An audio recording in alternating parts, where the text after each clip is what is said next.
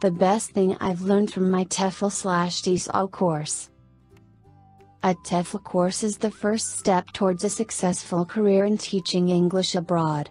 A TEFL course, whether taken online or in class, covers a wide range of topics from lesson planning and classroom management, to English grammar and pronunciation techniques.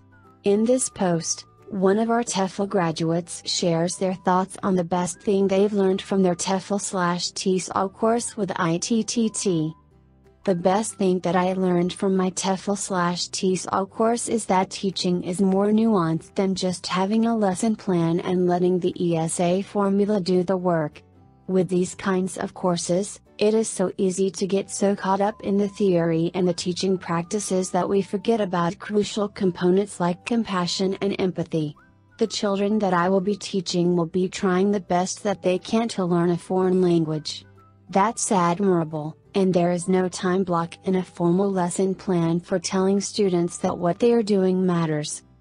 I learned that these nuances manifest themselves in a couple of different ways. First, there are nuances with how you should interact with young learners. A lesson plan can get you far in terms of content and teaching methods, but you still have to remember that there should always be a human element in your teaching style. A teacher can come off clinical or cold if they follow the lesson plan to a T because the words on the page don't remind you to smile at the learners and utilize the powerful technique of human connection. There is real value to be gained for both the teacher and the student when a connection is formed. That is something that will never make it in the lesson plan but is crucial for engagement. There are also nuances in how to interact with your own environment. It is important to be excited and smiley, but it is equally important to give off a grounded and steady mien in the classroom. The students do want to be entertained, particularly very young learners, but one cannot forget that they are looking up to someone and need to see stability.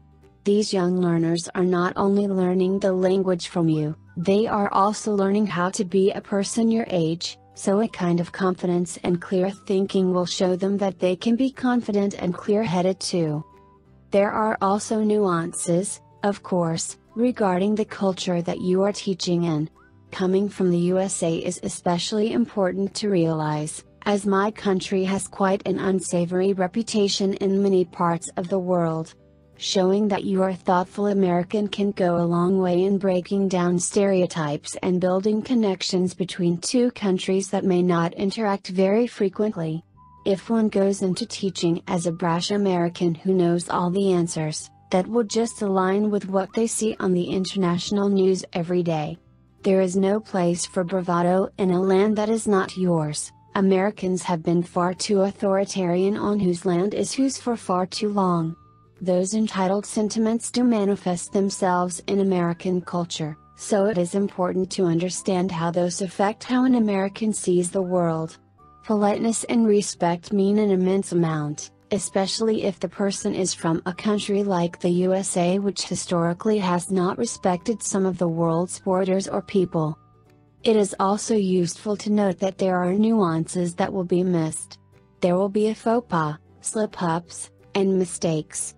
But I will keep in mind that I can have an effect, whether that be the friendship with a young child, a classroom, or a culture steeped in tradition and custom, and so the nuances become just as important as everything else. Are you ready to teach English abroad?